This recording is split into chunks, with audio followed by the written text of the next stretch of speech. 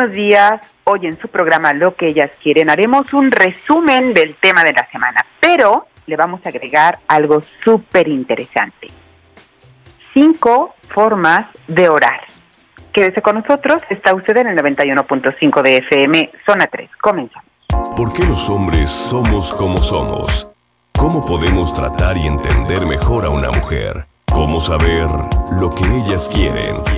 Zona 3 presenta un programa cuyo nombre lo dice todo, todo, todo, todo. Lo que ellas quieren, con la doctora Alicia Soltero.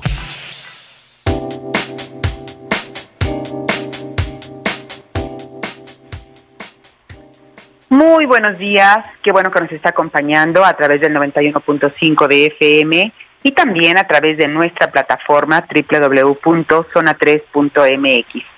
Hoy transmitiendo en vivo con usted vía telefónica, pero transmitiendo en vivo y vamos a hacer una compilación de lo que platicamos toda la semana, pero le vamos a dar un toque y vamos a dar un cierre maravilloso, porque ahorita usted va a darse cuenta el para qué tanto asunto de eh, platicar sobre la acción correcta, la visión correcta, la comunicación correcta. Se lo voy a, a compartir este en la segunda parte del programa. Ahorita vamos a hacer una referencia a lo que platicamos durante la semana.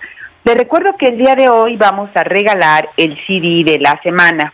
Si usted quiere participar, puede hacerlo a través de nuestro WhatsApp, a través de las líneas telefónicas y a través de nuestras redes sociales. Yo estoy aquí ya enfrente de mis redes sociales para que si usted quiere este comunicarse conmigo, bueno, pues Alicia Soltero Medio, estamos ahí ya listísimos eh, con, para usted. Y allá en cabina, bueno, pues está Omar, está Laura, también este, tomando eh, notas sobre lo que usted nos envía vía WhatsApp. Me mandan a mí los WhatsApp para contestarlos, así que eh, ya sea que sea por WhatsApp o ya sea que sea por inbox, bueno, pues usted este, va a poder comunicarse con nosotros. Bueno, empecemos. Buda, en este asunto de, la filosofía Zen, dijo que el sufrimiento humano era innecesario, que con más conciencia, pues nuestras acciones podían ser más acertadas y de eso hemos estado platicando durante eh, la semana antepasada, esta semana, y decía que cuando se unían la sabiduría y la acción, nuestro sufrimiento iba a cesar. Y para ayudarnos a lograr esa meta, Buda trazó el noble sendero óctuple, que fue lo que platicamos esta semana, que conducía a la iluminación.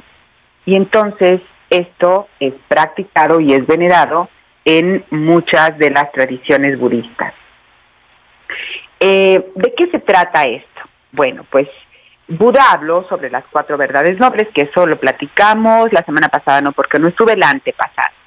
Y decía, la primera verdad es que el sufrimiento está en el núcleo de toda la existencia. Y estamos hablando del sufrimiento como dolor, ¿no? Como que el simple hecho de, ser seres vivos, el dolor existe y el dolor está en nuestra vida. Y, y esto es algo con lo que tendremos que aprender a vivir, punto.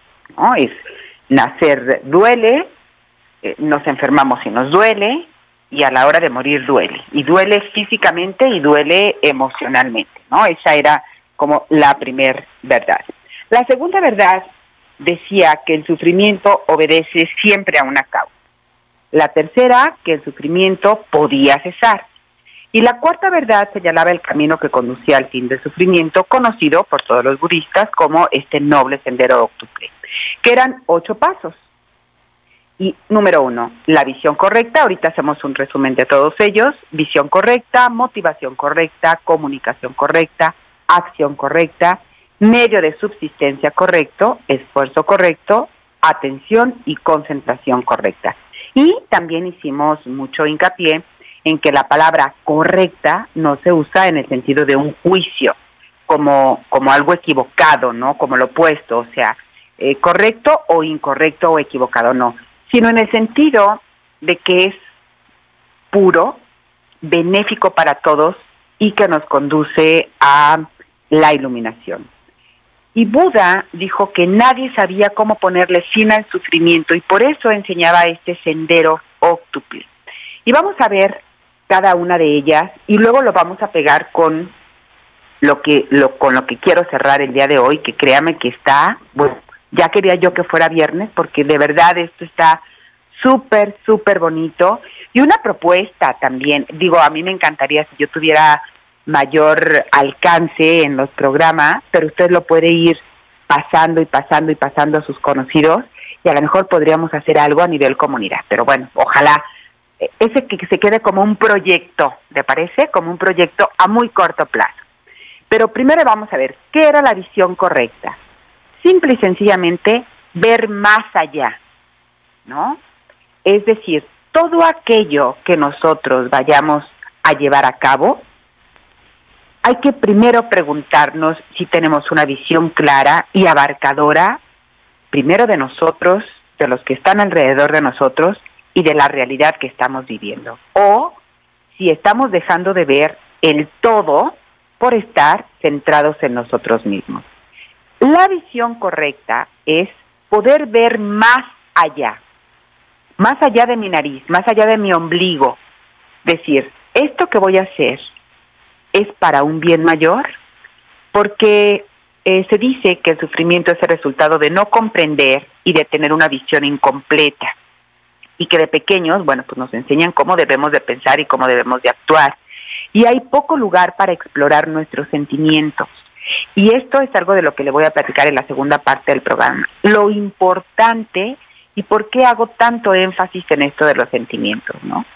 Eh, a veces, bueno, al principio, bueno, empezamos a, a, ver primero a los demás, ¿no? No lo hago porque mi papá no le gusta, o porque mi mamá me dijo que no, porque mi maestro me va a castigar, y no nos ponemos, no nos checamos internamente a ver, yo, cómo me siento en esta situación, en este trabajo, en esta oficina, con estas personas, en este ambiente.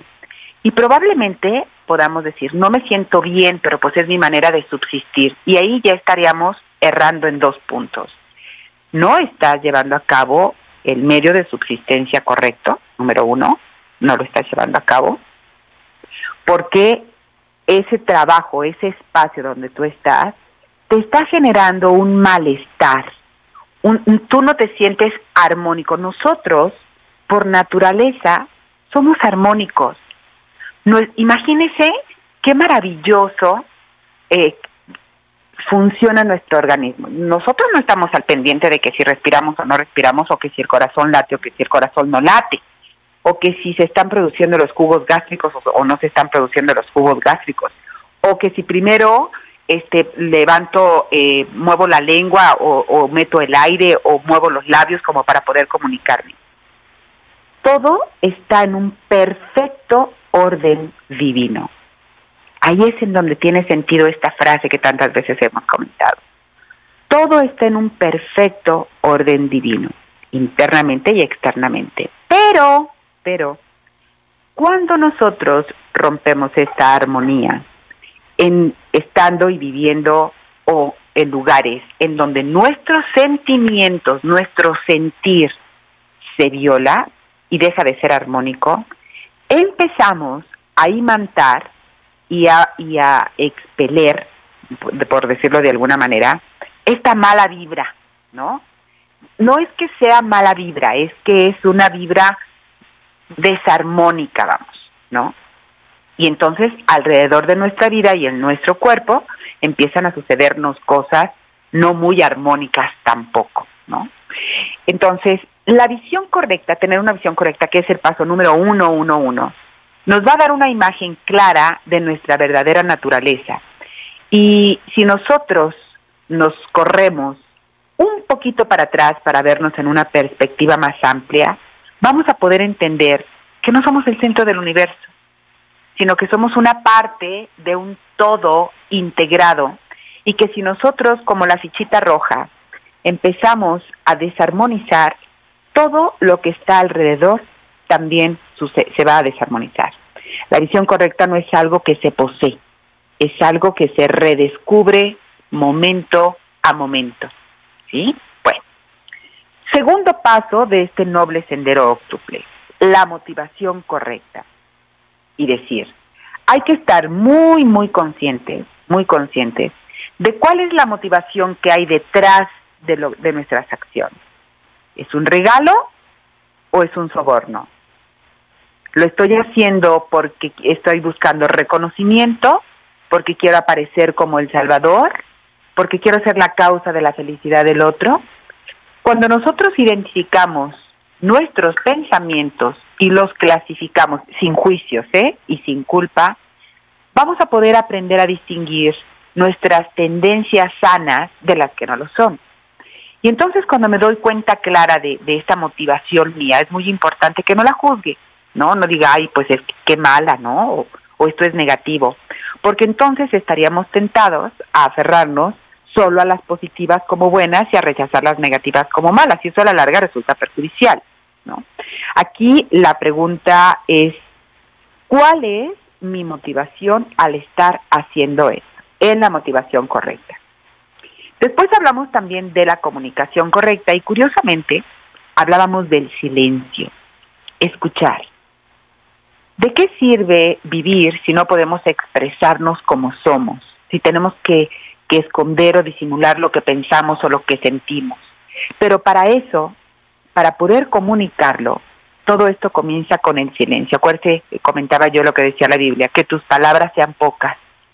Porque desde el silencio nosotros podemos sentir la intención de nuestra comunicación y de la comunicación que estamos recibiendo, ¿no?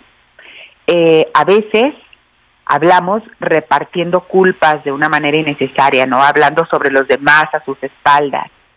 Eh, y a veces no necesito ni siquiera hablarlo, ¿no? Con una sola miradita basta para arrasar a otra persona, ¿no? Con un arrebato de cólera podemos destruir años de convivencia. Y en el silencio es recuperar el equilibrio y conectarnos plenamente con nuestra respiración.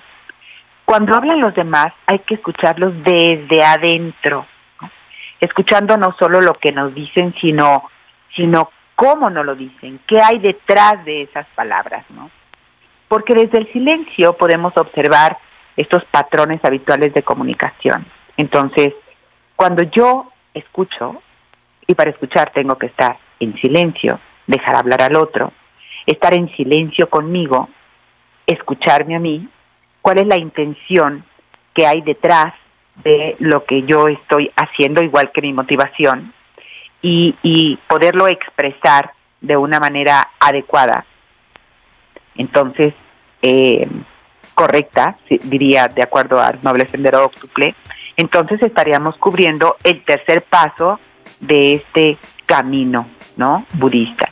Vamos a una breve pausa comercial. Recuerdo que el día de hoy eh, se están obsequiando el eh, CD con la programación de toda la semana para que si usted quiere participar, bueno, lo haga a través de nuestras redes sociales, del Twitter, de las líneas telefónicas, de nuestro WhatsApp. Vamos a una breve pausa comercial, quédese con nosotros, regresamos.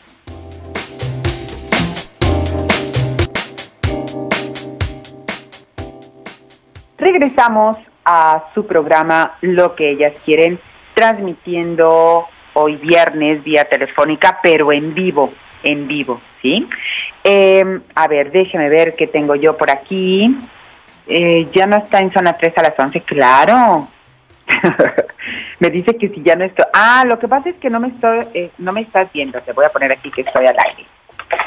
Yo creo que debe de estar en, la, en la plataforma, claro que sí, por supuesto que aquí estoy. Nada más estoy, estoy, no estoy, este en la pantallita, ¿sí? Eh, Rubén Santiago, muchas gracias por contestar mis mensajes, claro que sí, cuando tengo el tiempo trato, trato, créame que trato de contestar todos los que tengo. Ahora déjeme ver si tengo por aquí, aquí está, tengo WhatsApp. Eh, mira, dice a mi esposo y a mí, a ver, espérenme tantito, dice a mi esposo y a mí nos encanta el programa, queremos participar por el CD de la semana soy Lucía Guadalupe. Saludos y que se recupere pronto. Muchísimas gracias. Mire, le digo desde ahorita, el lunes tenemos cita con, con el doctor ya para que me dé de alta, que créame que este, cuando llego a la niña al hospital, me tengo, a la niña, ¿eh? a la perrita, me tengo que quitar la bota. Entonces me quito la bota, me pongo la bota, me pongo la bota, me quito la bota. Entonces, este, espero que ya, que ya me la quiten, por Dios, porque créame que es pesadísima y de lo más enfadoso traer esa bota.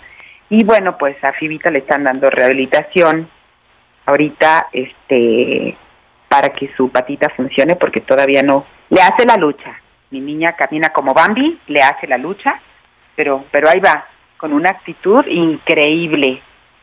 de verdad, ¿eh? estos cerecitos nos dan lecciones increíbles, increíbles, increíbles. Ella no le importa caminar como Bambi, media cojita, pero le hace el intento para mover la muñeca. Y de esto le voy a platicar al final, está padrísimo. Bueno, seguimos con el sendero. Cuarto paso, acción correcta.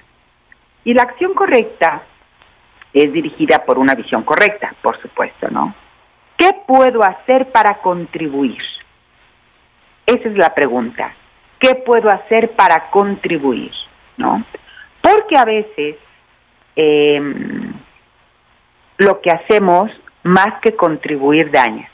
Cuando nosotros damos eh, alguien nos pide dinero prestado y le prestamos el dinero y luego nos vuelve a pedir dinero prestado y le volvemos a prestar el dinero, yo creo que llega un momento en donde me pregunto, sería bueno que nos preguntáramos, ¿realmente estoy ayudando a esta persona? Quizás no sea la acción correcta, porque la, la acción correcta comienza evitando la conducta dañina, ¿no? Hay que preguntarnos, ¿estoy segura de que lo que estoy haciendo no genera ningún daño independientemente de mis buenas intenciones de ayudar a esta persona? Y entonces yo recuerdo que en esos días le posteamos las 10 acciones saludables para que usted eligiera. Y entre ellas estaban sostener la vida, comprometernos con el dar, mantener una ética, un código de ética, hablar la verdad armónicamente con amor y con sensatez, cultivar el goce por la prosperidad de los demás, cultivar la solidaridad y aprender a tener visiones correctas. Y resumiendo la acción correcta, quiero decirle que una acción correcta siempre honra, siempre va a honrar al bien común. Con eso cierro esta de la acción correcta. Y luego veíamos el quinto paso, un medio de subsistencia correcto. Es decir, si trabajamos únicamente para obtener un ingreso o una posición social o para cumplir con lo que los demás esperan de nosotros, mire que espérese tantito, ¿eh? En poco tiempo puede usted experimentar una insatisfacción que va a empezar a corroerlo por dentro, ¿sí? ¿Qué pasa si podemos disfrutar con nuestro trabajo, crecer con nuestro trabajo y al mismo tiempo beneficiar a los demás? Disfrutar de nuestro propio trabajo significa aprovechar las oportunidades que benefician a todos los que están a nuestro alrededor quizás nosotros pensemos que un medio de subsistencia correcto es privilegio solo de algunos, ¿no? En aquel entonces le hablaba yo de Nelson Mandela o de la Madre Teresa de Calcuta. Pero una vez que nosotros nos comprometemos con un medio de subsistencia correcto, surgen oportunidades que hacen que nuestras intenciones se conviertan en realidad. De verdad. Además es cuestión de confiar, de pedir no para tener, eso se lo comento en el siguiente bloque. No para tener, porque entonces quiere decir que no hay. Y ahí viene la manera de pedir y las maneras de ahorrar. Sexto paso, esfuerzo correcto. El esfuerzo correcto parece simple, parece simple, darle con todo y para adelante al 100%, ¿no? El famoso échale ganas. Ay, a mí esa frase que gorra me cae. Sin embargo, el esfuerzo correcto requiere de una visión y de una motivación correcta. Y hay que saber qué funciona y qué no funciona, qué ayuda y qué es contraproducente. Esfuerzo correcto significa perseguir una meta honorable de tal manera que nos beneficiemos nosotros y también los demás, y trabajar por una buena causa. ¿sí? Pero si usted está trabajando por una buena causa, manipulando a los demás, no es un esfuerzo correcto, como tampoco lo es trabajar duro para cosechar elogios o para evadir la culpa. Visión correcta y esfuerzo correcto siempre se van a apoyar mutuamente. ¿Por qué? Porque la visión va a aportar el enfoque y el esfuerzo va a proveer la energía necesaria para poder avanzar en la dirección adecuada. Y el esfuerzo correcto siempre es pragmático, porque va a tomar en cuenta las circunstancias, el tiempo, las capacidades, este, todo esto está involucrado. A veces necesitamos avanzar de una manera decidida, así como que voy por todo, peleando contra la inercia o contra lo que se opone, pero habrá otras veces en donde tendremos que ser pacientes y esperar el momento oportuno. Y aquí hay dos elementos importantísimos que no podemos dejar de lado. Amor y compasión. Amor y compasión son los dos elementos que van a guiar el esfuerzo correcto. Si mantenemos visión correcta, vamos a tener energía de sobra. Y si lo acompañamos con amor y compasión, compasión, ¿eh? entonces estaremos en el camino. ¿Por qué? Porque el esfuerzo nos va a dar siempre este coraje para escapar del miedo. Y luego tenemos atención correcta. ¿Qué significa la atención correcta? Que no andamos pajareando, mareando la perdiz, yéndonos por otros lados, ¿no? Es estar en el momento presente.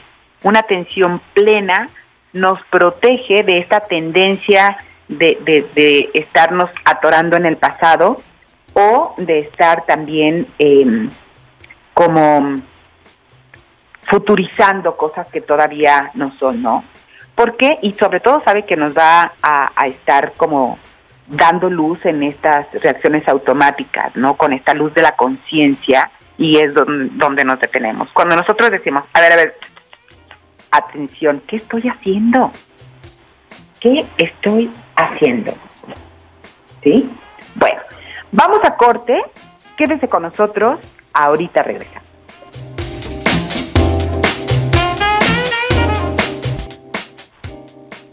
Regresamos a su programa Lo que ellas quieren y bueno, ya estamos en, en la segunda parte, nada más hablo de la concentración correcta y seguimos con esta parte, ¿no? Porque aquí viene. Cuando hablamos acerca de la concentración correcta, significa canalizar nuestra conciencia a permanecer en un foco. Y esa es la clave del éxito. De verdad, esa es la clave del éxito.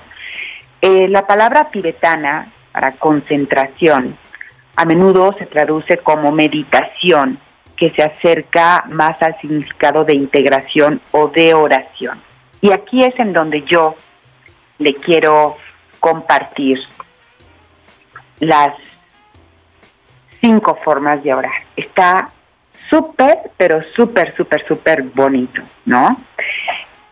Eh, este es un documental, Claudia, que Claudia me traía asada desde el lunes, que quería que le diera, no, bueno, pues si te doy el documental ya me quemo, ¿no? Me quemo el programa. Es un documental, déjame te digo cómo se llama. Se llama, em, ay Dios mío, La ciencia de los milagros, creo, la ciencia de los milagros, pero te voy a decir, búscate a Greg, con doble G al final, Greg Braden. Todos los documentales en YouTube, por supuesto todos, al ratito se los posteo en YouTube.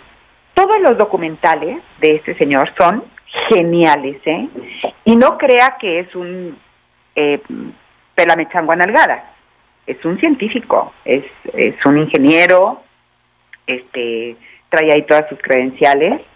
Y, y, y, bueno, él se metió, estaba muy metido en la ciencia, y él se metió a, ver algo que se llama y que todavía no se ponen de acuerdo en el nombre, que este se llama, alguien le llama la mente de Dios, otras personas le llaman el centro holístico, otras personas le llaman la, mat, eh, la matriz divina, em, pero está, todos sus documentales es, son muy interesantes, muy interesantes.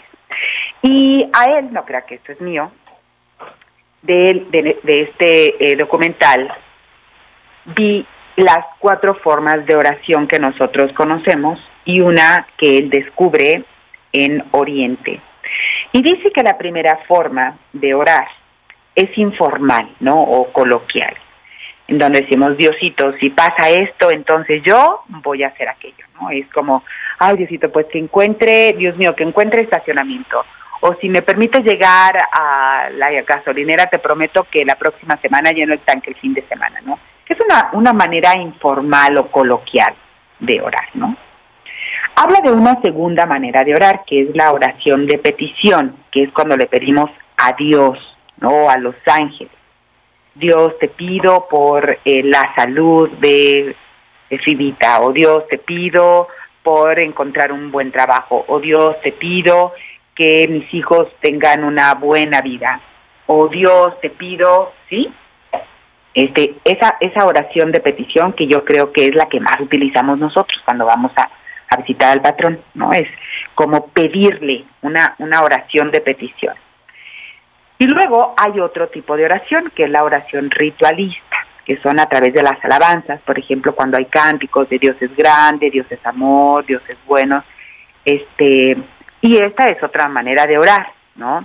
Eh, no sé si usted ha ido en algún momento a un templo eh, en donde hay cantos, en donde todo el tiempo se está alabando al Señor, ¿no? Y entonces son cantos de alabanza. Y esta se le llama oración ritualista. Hay otra cuarta forma de orar que no, no, sé, pues hay como este choque ahí en donde dicen pues que eso no es una manera de oración, ¿no? Y que ni siquiera se puede considerar una plegaria, pero pero es un momento en donde no hay no hay palabras, solamente un estado meditativo, es como volverse consciente del momento presente, estar en silencio y que esta es otra forma de orar. No estás pensando ni en Dios, ni en una petición, ni, no, es únicamente esto es este mucho de lo que se hace en una meditación, por ejemplo, en yoga, ¿no? En donde solamente estás al pendiente de tu respiración y punto. Pero dice que hay una quinta manera de orar, que en el Tíbet se le llama oración basada en el sentimiento. Viera que me encantó y por eso se la comparto, porque esta manera de orar está basada en el sentimiento. Y, y ellos dicen, en el Tíbet, dicen que deberíamos de sentir el sentimiento. Esa es una manera de orar. Y que en ese momento es como como si la oración, cuando tú sientes el sentimiento, es como si la oración ya hubiera sido respondida. Y en ese momento le hablamos a la fuerza de la creación, permitiéndole al mundo respondernos, permitiéndole a esta mente de Dios respondernos en relación al sentimiento en nuestros corazones. ¿Sí?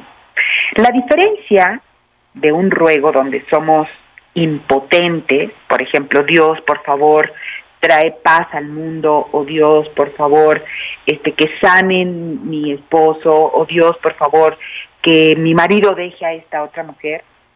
Dice que este método nos propone que sintamos el resultado de nuestra oración como si fuéramos partícipes ya de lo que estamos pidiendo. Por ejemplo, voy a tomar eh, esto que necesitamos tanto ahorita, que es la paz, ¿no? Y le voy a platicar de unos experimentos y unas estadísticas y estudios que se hicieron eh, en donde, bueno, se, se, trató de comprobar científicamente, porque usted sabe si no queda así como en, charlatanería, y este hombre trató de, de, demostrarlo científicamente y lo logra, ¿no? Eh, dice que, por ejemplo, que cuando nosotros pedimos por la paz del mundo no es pedir para que haya paz, que lo que necesitamos es sentirnos como parte de lo que queremos, de lo que vemos, que si sentimos paz en nuestro mundo interior o salud, en nuestro este cuerpo o, o si visualizamos y sentimos como que estas personas, e, estos seres por los que pedimos salud, ya están sanos, entonces ya le estamos dando el poder al sentimiento para que nos responda como un espejo, dándole vida a estos cambios en nuestra vida y en nuestro mundo, ¿no? No se reza para pedir para qué, para que haya paz, porque si no, no hay, no pasa. En el momento que nosotros rezamos para que algo pase, nuestro sentimiento es que no existe en ese momento. ¿Sí?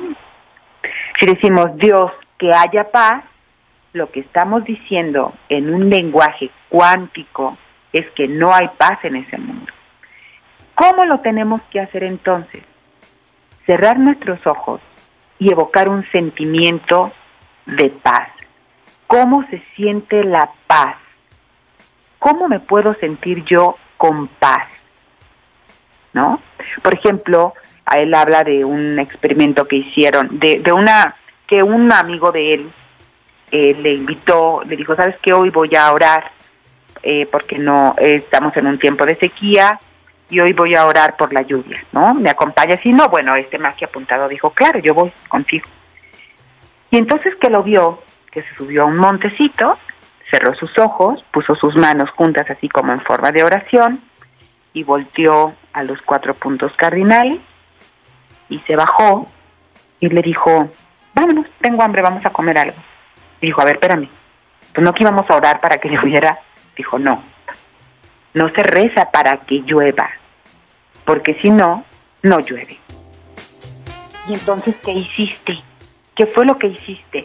Y ahorita regresando del corte, le platico qué hizo y cómo nosotros podemos unirnos a este campo de oración. Vamos a corte, quédese con nosotros, regresamos.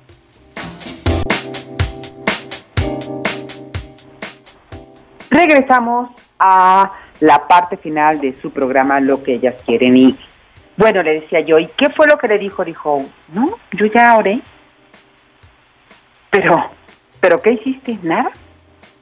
Dice, mira, no hay que rezar para que llueva. En el momento que tú rezas para que algo pase, estás sintiendo que no existe en ese momento, ¿no? Eh, y esta, cuando tú sientes por ejemplo, cuando yo cierro mis ojos, siento cómo se siente mi pueblo cuando llueve, cómo huele la tierra mojado, cómo se sienten mis pies que se hunden en el lodo, ¿no? Cómo se siente de fresco cuando cae el agua. Simple y sencillamente siento. Siento. Y dice él que curiosamente, pues llovió en la tarde y que le preguntó, oye, ¿cómo le hiciste? No sé, dice, es parte de la plegaria, no puedo explicar qué pasa. Y en 1972, en, este, en 24 ciudades de Estados Unidos, se hizo un experimento con personas entrenadas para evocar un sentimiento de paz de una manera muy específica. Era una población mayor a 10.000 personas, ¿no? Esto está documentado a principios de los años 70. Y, se entrenaba a estas personas y en determinados días y en determinados momentos se sentaban conectándose con ese sentimiento de paz. Y se registró un descenso en los registros de crímenes y de eh, violencia y de choques automovilísticos, ¿no? Y cuando se suspendía esto, los resultados se revertían. En el Journal eh, Conflict Resolution en 1988, hubo un proyecto que se llamó Proyecto Internacional de Paz en Medio Oriente. Estaba el conflicto entre Israel y Líbano a finales de los 80. Y entonces, tratando de registrar este mismo experimento, notaron, se dieron cuenta que cuando cierto número de personas sentían este sentimiento de paz dentro de la comunidad, más allá del lugar físico donde se encontraban, empezaban a suscitarse cosas diferentes en los lugares en conflicto y cesaban los atropellos, ¿no? Y, y, pudieron ser tan exactos que encontraron la fórmula para definir el número de personas que se requería para que el efecto se pusiera en movimiento. Y ahí le va la fórmula, que esto fue, bueno, lo que a mí yo dije, ay, ojalá pudiéramos hacer algo, pero si se fija, nosotros hacemos lo contrario. No este gobierno, no nada más, no qué ciudad tan insegura, no, y lo único que estamos haciendo es sumándole, sumándole, sumándole, sumándole, sumándole, ¿no? Y la verdad, pues eso, esos comentarios no le suman. ¿Se acuerda del silencio, de la visión, de la atención, del esfuerzo? Pues lo estamos haciendo muy mal. Y aquí viene una eh, la fórmula. Dice, hay que sacar la raíz cuadrada del 1% del total de la población. Por ejemplo, de un millón, el 1% de un millón y calcular la raíz cuadrada. Y de ese 1%, ¿cuántos son necesarios para lograr el efecto? De un millón eran 100 personas. La raíz cuadrada del 1% de un millón eran 100 personas. La raíz cuadrada, ahora no me diga, yo ya no, yo no lo he sacado, pero así decía el reportaje. Después dijo la, em, este, a ver, perdón, perdón, perdón. Sí, después decía que en una población de 6 millones se requerían a 8 mil personas. Cuando estas personas se sientan, y no son mil, son 100, son mil, estas personas se sientan con este sentimiento de paz para generar ese movimiento, entonces todos ellos se conectan con la conciencia de este campo holográfico, del campo cuántico, de la matriz o de, o de mente de Dios y se logran cosas. Imagínese, pero, pero aquí no es rezar cual merolicos, ¿eh? Aquí no es pedir cual merolicos, no, no, no.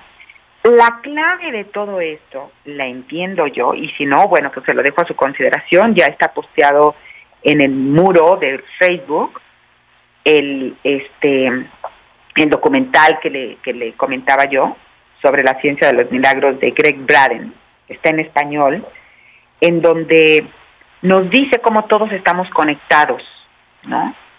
Y trae ahí una prueba de ADN que se hizo maravillosa, que yo no se la alcanzo a explicar el día de hoy, pero por eso le pongo el documental. Tiene que verlo, porque esto nos abre la conciencia y se pega mucho con esto del noble sendero octuple, en donde podemos entender cómo no, todos somos todo, de verdad, todos somos todo. Eh, el espacio que usted habita quede impregnado con su energía para cuando yo llegue. Y lo que yo haga lo afecta a usted y lo que usted hace me afecta a mí. Y cuando nosotros tenemos esta conciencia y sabemos el poder ilimitado que tenemos, quizás nos podríamos unir todos en una oración sentida, no repetirla como merolico, sino conectarnos con este sentimiento de paz o con este sentimiento de amor o con este sentimiento de lo que usted quiera lograr en su vida y durante un tiempo con el montón, por eso funcionan tanto las cadenas de oración, pero, pero no el hecho de repetir las cosas, sino de sentir las cosas, de poder vivir ese sentimiento de salud, de amor, de paz, de armonía, de compasión en el mundo. Yo le invito, de verdad, a que empecemos a hacerlo en corto con los nuestros, con los que estamos cerca, con nuestros compañeros de trabajo, con nuestros hijos, con nuestra familia. No pida para que se alivie Siri o para que yo me mejore. Sienta así, conéctese con ese sentimiento de que yo estoy ya maravillosamente, caminando bueno, como sé caminar de rápido, que Michu ya anda también por aquí corriendo, así se pide, yo así pido, así estoy pidiendo por nosotros y créame que eh, los doctores están sorprendidos, el, el, de la terapia, la, doctora de la terapia que se le está dando a Phoebe, la fisioterapia, dice, créeme que esto es un milagro, ¿eh? Esto es un milagro. Bien, pues, ¿quién es el ganador o la ganadora del sí? Es Lucía Guadalupe Méndez. Cuídense mucho, buen fin de semana.